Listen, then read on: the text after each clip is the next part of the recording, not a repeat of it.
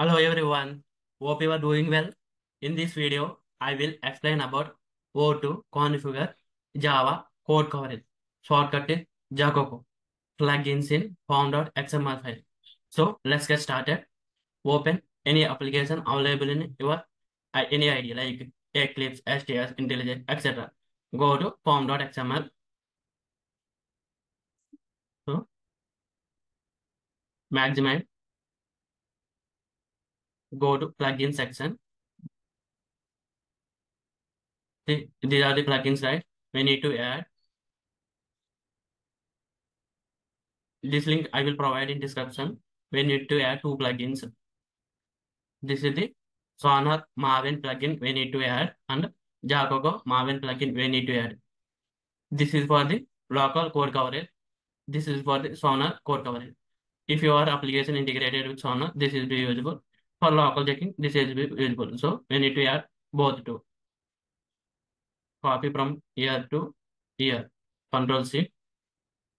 After plugins, after plugin, this is one plugin, right? Like that, we need to add two plugins.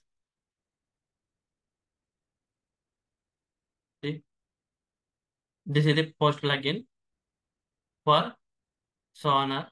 This is post plugin for the Sonar. This is plugin for the Java, Java code coverage. So this video, this is not required. So I am removing it.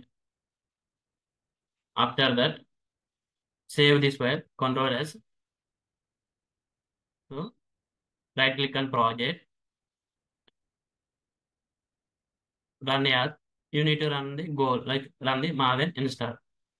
It will be generate the Java code coverage report.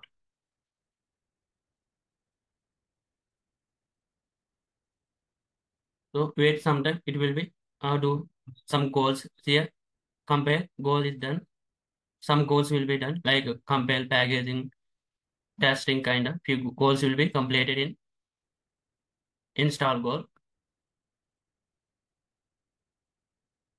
So we are now run, we are now Maven install goal, we are performed. Here one test case is typically run. So build success. So build is done, right? So we are performed Maven install, install goal. I will show goals order. So see we are done Maven install. If we are done Maven install, B for install, install goal run, it will be like it will be run validate, compile, test, package, verify, then install. These above goals will be performed if we will run Maven install. If we will perform Maven test, it will be validated, compare. If we have done packaging, then above three will be done. Like that. If we have Maven verify, then reminding these above four will be done. So we have successfully run the Maven install goal, right? It will be generate one target. In target, so nothing is there. So then that means refresh it. Right click, refresh. See, now some folders are there, right? Go to side, Jacoco, Java code coverage. Right? So index.html file is there. Right click, open with. So you can select other. Else, right click, open with.